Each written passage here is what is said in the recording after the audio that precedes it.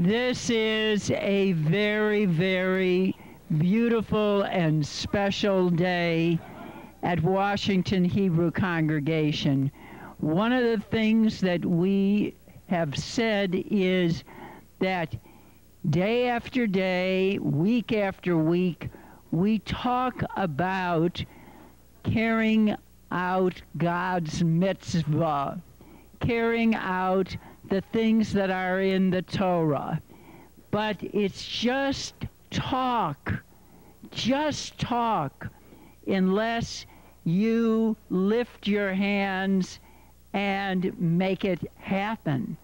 You make it happen every single moment, every single day, by the way in which you take the ideas of Torah and make those ideas count in everything you do.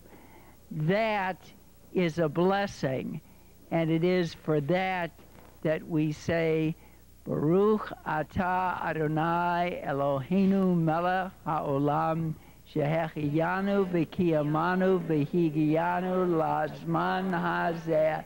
We praise you, O God, ruler of the universe, who has given us life, who has preserved and sustained us, and allowed us to share this day of commitment.